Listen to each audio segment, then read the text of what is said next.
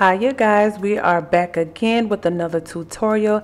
Today I'll be showing you how I did this gorgeous razor cut quick weave wig. It is removable, so go ahead and get ready. I'm going to be giving you all the details. Just before we get started, make sure that you like, comment, share, and subscribe and hit that notification bell so that you get all of my notifications first. Of course, I'll be using my make your own wig dome cap so I'm using a 22 inch canvas block. I'm using a pink one because I figured that you guys could see it better and to protect it I will be covering it with my plastic shower cap. So like I tell you guys in my other previous video, I like to use those guidelines going straight down the middle so that I can line it up correctly whenever I'm making this unit. And I use this so that it helps me know where I am placing the tracks so that I know where the nose is supposed to be. Because it's a blank canvas you have to make sure that you are doing everything accurately. For this look I will be using hair that I already have around the salon but I will link in the description box the hair that you will need to complete this look. So I'm I'll be using the Indian Tara 27 piece and you will need a 10 inch empire and a 12 inch empire for this. So what I'm going to do is, of course, y'all know I like to stretch my tracks. So I'm stretching them so that I can space them out enough so that it lays flat.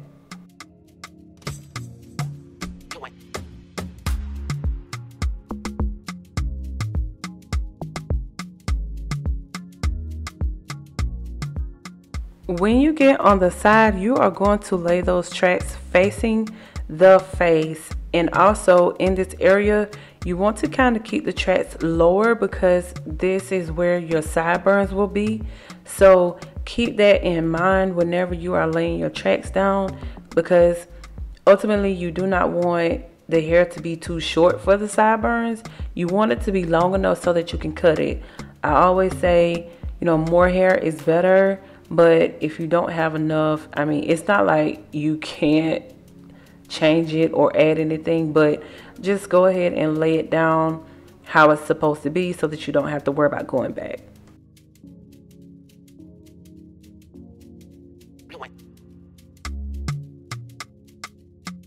So now that you have made your guide for the front, you are now going to turn it to the other side. So because it's going to be long on one side, you want to go ahead and section it off so that you can see. And I'm doing this as a guide to show you guys so I just take the glue, make a guideline because you don't want to lay those short tracks anything past that because that area is for your longer pieces. Forget that if you are not subscribed to the channel, make sure that you hit the notification bell so that you see all of my notifications first.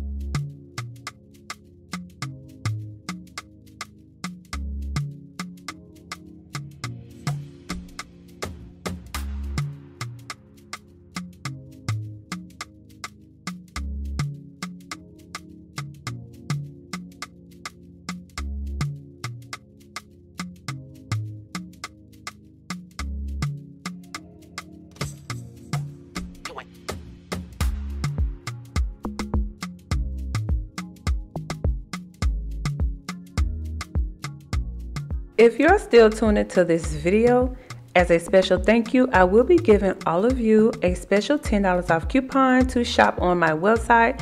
You can go to www.feliciaslater.com. Stay tuned. At the end of the video, I will be giving you the coupon code.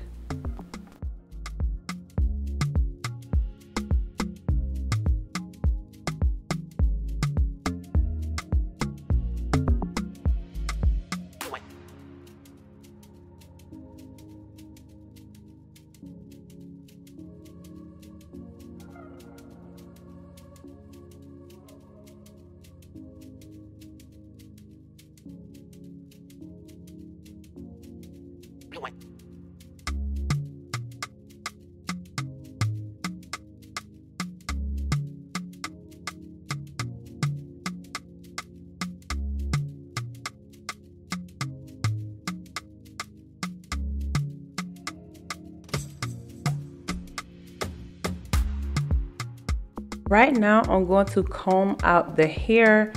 I do this because sometimes you may get glue on the ends of the hair. So make sure that you comb it out really, really good. This is going to help everything lay down in place whenever you go in to razor cut it. And of course, you already know I like to use my single blade razor. I do take the guard off and as I tell you guys all the time, don't do this if you're not experienced, but I rather if you want to practice using it this way, do it on a mannequin before you try it on a client because you can cut someone or cut yourself. So make sure that you practice this method on a mannequin first and I like to use it like this because it shades it down really, really close. And I have more control of the razor whenever I do this. And if you cannot find this razor, you can email me um, and let me know that you need one because I do sell these as well because it's really, really hard to find these in store.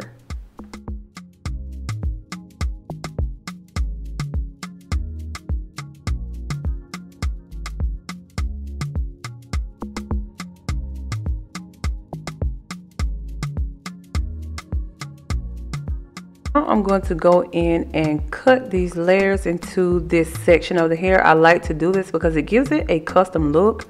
But you are going to want to cut those ends off and even everything up. All I'm doing is pulling it out at a 90 degree and cutting it off. I am using a pair of my signature shears. I am offering these on my website. So if you want to get the set, it's um, the thinnest shears and the regular shears. They're custom in their signature and they cut very, very nice. They're about um, five inches long. So they, they fit really, really snug in your hand. But yeah, if you want to purchase them, head over to my website and grab yours.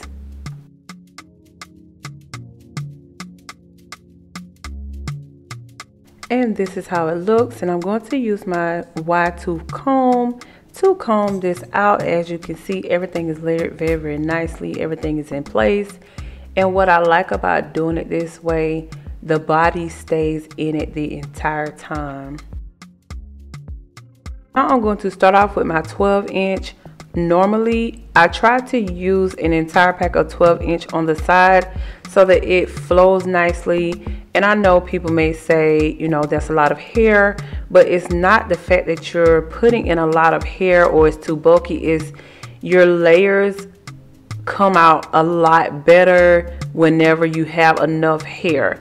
If you thin it out enough, it won't look like a lot of hair. And I am doubling my tracks because this is a small section.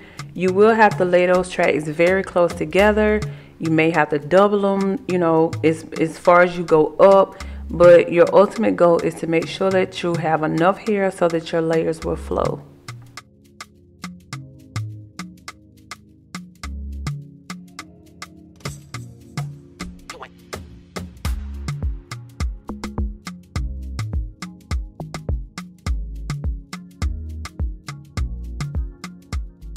So this is how I'm doubling the tracks. I wanted to kind of slow it up to show you guys.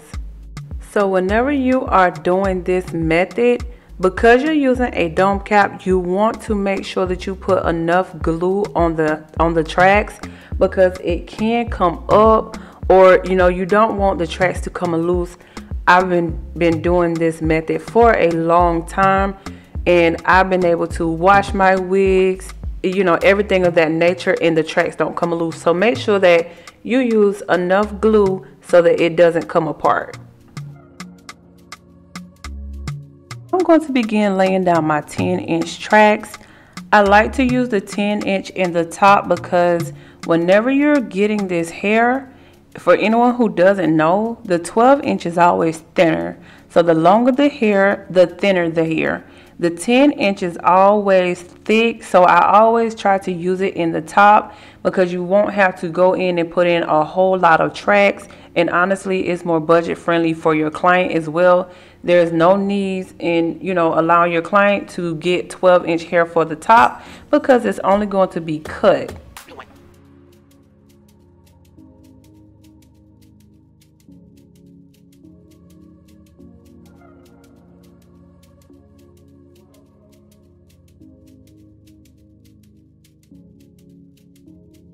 So you will go ahead and continue laying down your tracks. As you can see, the pattern that I'm going is in a U shape because you want to track it all the way down till you get a little circle so that you could close it so that you can close it in. But on this one, I will be doing the invisible part method for the closure because I do not have a pre-made closure. I like pre-made closures and it gives it a different look.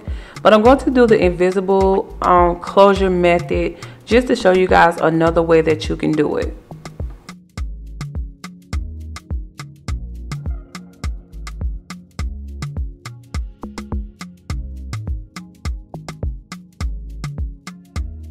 So I'm going to change the angle so that you guys can see better. This is how it will look if it was a client or if you're working from the back. All I did was turn it around so that you guys can get a better view. So just to clear everything up, I do offer this unit to my clients, but I do require my clients to come in and have this done on their head and the reason I do that is because I do not want to go through the trouble of making a unit, wasting hair, and the unit doesn't fit the client. Then you have further issues. They have to ship it back to you, you know, everything like that. So I do require that if you want this unit or if you're offering this to your clients as a service, you can just let them know, you know, if you plan, if you feel like you can customize this unit for them just be mindful that every client do not know how to measure their head properly. So just keep that in mind. So if you have not done the invisible part before, you're going to be cutting the hair off of the track. I'm going to be using black glue for this and all you're going to do is just run that hair through the glue. Don't use too much because it will bleed through. So just use just enough and coat it down. You can use lace glue but if you use lace glue you're going to put it directly on the tracks and then lay the hair down after you put the glue down. So just take your time and do this and try not to be too messy I you I do it in bits and pieces. That way I can keep it neat.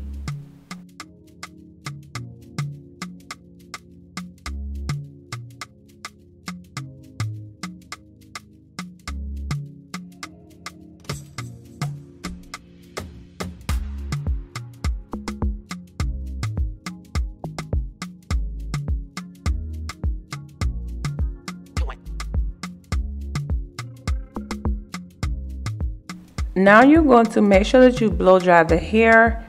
Do not be alarmed if hair is coming up. Remember, you cut the hair off of the track. The hair is loose. So whatever hair comes up, let it come up. If you see any gaps, you can always go in and fill it in. But whenever you comb it, comb it thoroughly because that's the hair that's going to be coming out. If you secured it down good enough, it will not move at all.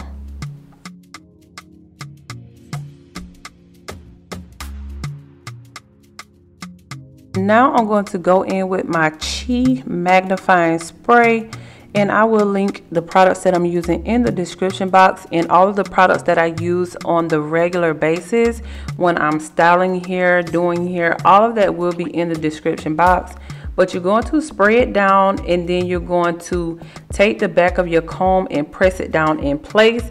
This is going to help it blend in a lot more. Then you're going to just spray as much as needed. Don't do too much because it will begin to flake if you do. But you just want it to look seamless and as if everything is all put together.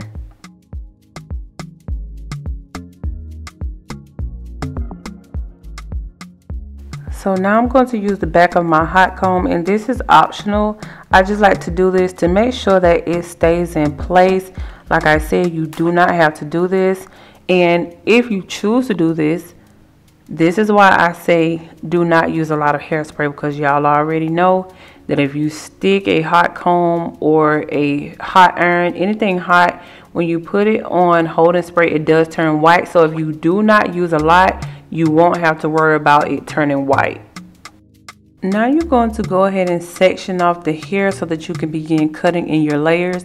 And I like to always separate my bang from everything else just so that I don't cut off too much.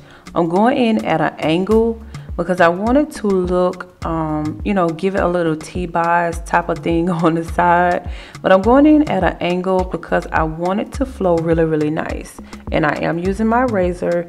You can use whatever you like. You can use scissors, but the razor gives it a soft, feathery look.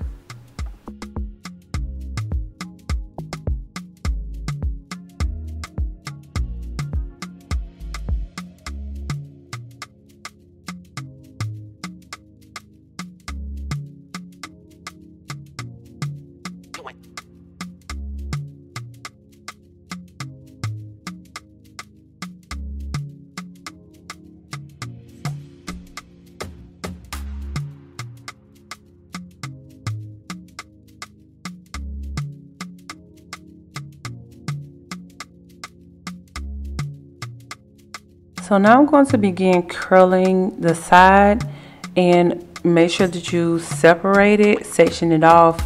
Use thin, you know, do thin sections because you want to make sure that you get through all this hair. Like I said, if you put in an entire pack of hair, you need to make sure that you're curling all of the hair. So just take your time, section it off, and you will need to use some type of serum, hairspray, oil sheen, to flat iron it. You can use a thermal protectant if you like, but I just use the Design Essentials Diamond Oil Sheen for this just because it kind of helps slick down the cuticles on the hair. I will be using my Kiss one and a half inch curling iron. And when you're doing this, do not put too much of a curl in it because it will begin to curl.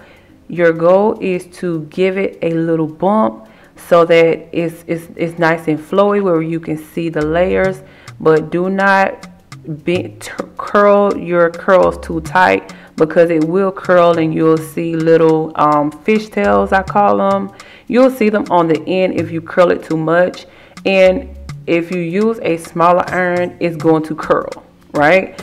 So you're going to use a bigger iron so that you don't have to worry about the hair curling up on you. It's going to just give it a slight bump and a feathery look.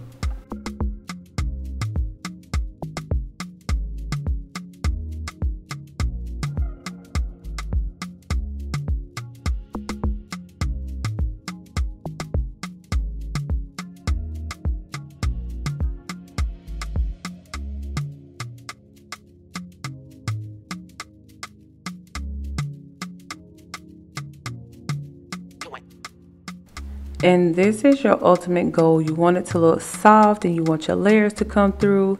And again, if you comb through this, you will not have any flyaways from your invisible closure in the back. So just comb it around. You can see the layers. It's very, very nice and flowy. So now I'm going to go in and add layers to my bang area. And like I said, it helps whenever you section this off and you don't want to start too high you're going to go down at an angle. Because if you cut it too high it, will look really really weird when you go into um, curl it. So do it longer than what you would normally do. So for instance if you want it to fall say at eye level cut it about one inch longer than what you would actually want because you want to give it room to when you when you curl it, you want to have room to. You can always go back and cut it, but once that hair is off, it's off. So it's better to just have more hair than to not have enough. And I left this section of the video in real time because I want you guys to see like I'm taking my time to cut these layers in because you don't want to put a gap in the hair. So take your time and cut the layers in.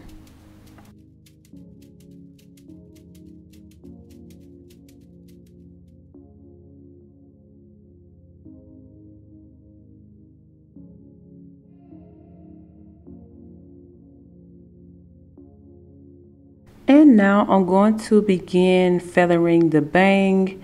And again, I'm sectioning it off. And I'm going to use my curling iron to do this. Like I said, the curling iron gives it a very soft and feathery feel. So all you're going to do is just feather it and even it up with the sides.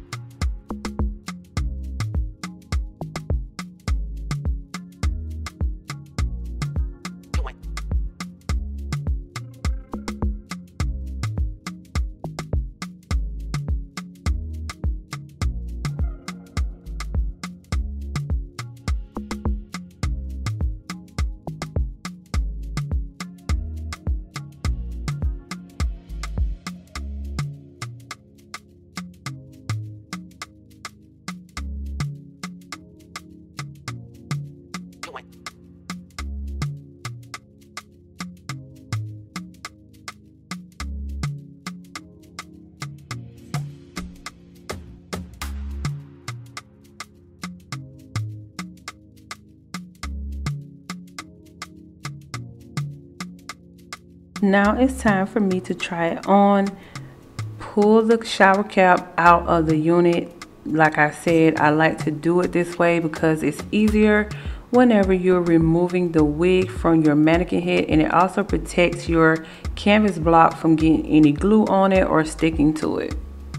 And don't worry about the unit messing up whenever you are taking the shower cap out trust me, it's not going to mess up. And if it makes you feel better and you want to make sure that it's secure, you can put it underneath the dryer after you finish just to kind of make sure that it's all dry.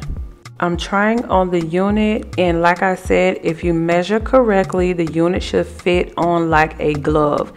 As you can see, the unit is on nice and snug and it fits to my head and if you did not know it, you would not know that this is a wig. It looks like I just literally got my hair done in a full quick weave, but it's a wig. It's nice and flat and it looks amazing. So now I'm going to be sharing with you the discount code. You will be able to enjoy $10 off any unit on my website. The coupon code is YouTube10. And again, I'm just thanking you guys. This is my special thank you for tuning in and building the community, spreading the awareness. I'm always here for you guys. Leave all of your comments and your feedback in the in the comment section. Thank you guys.